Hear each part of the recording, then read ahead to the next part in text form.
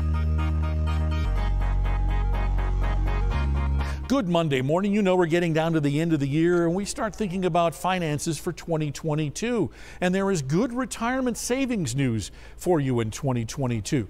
The amount now that you're going to be able to sock away in your 401k, your 457 or your 403b plan, those are all qualified retirement plans, increases by $1,000. So now you can set aside a total of $20,500 in 2022. But that's for those under the age of 50.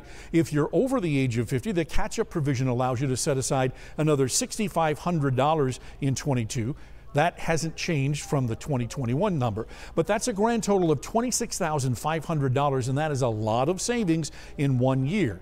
And as a reminder for you, you can change your withholding for any of these accounts at any time. You do not have to wait for the open enrollment period to do so. Now, depending on your income, you also have another option to save still more in a traditional individual retirement account or IRA.